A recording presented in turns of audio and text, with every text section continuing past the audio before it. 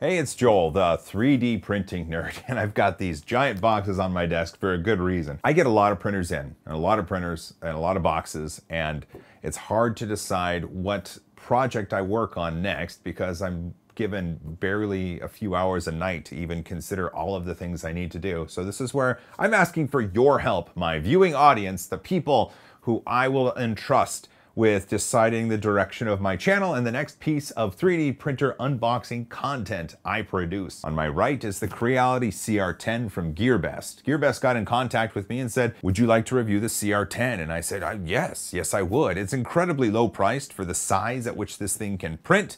And I've heard from many people I trust that this is an awesome printer. So of course I told GearBest, GearBest yes, I would love to give this printer a go. Uh, they sent it to me, and if you want more information on that, I've put a link down to GearBest in the description.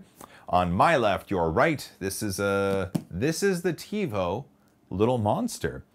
As the story goes, uh, about a year ago, I was in contact with someone who was putting me in contact with TEVO. I had the Tarantula, I had the Black Widow, but I didn't have time for the kits. So I sent a few emails off to that person saying, what do you want me to do? They never got back to me. They ignored my emails. And so I just sent the kits off to a friend who had time to put them together.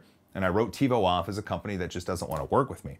Fast forward to about a month ago and I, I get a message from Chris Leonardo over at TEVO. And he said, Joel, we want to work with you. How about I send you a little monster? And I said, let's do it. That sounds great. So I'm looking forward to putting this together. Chris did say the kit is about 90% assembled and there's only about 10% left, and we'll, we'll see how true that is.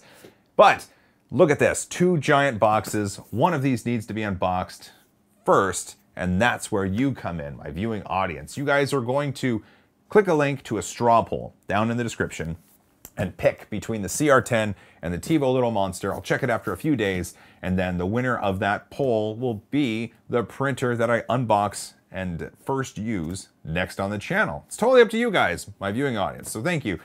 This is interactive. This is the future, I guess. This is, uh, this is me trying to produce the content that you want to see. So with that, go to the description, click the link for the straw poll, put in your vote for the CR10 or the TEVO Little Monster, and then that will be the printer that I unbox next when I produce a 3D printer unboxing video. Let's uh, let's do it. I love you guys. As always.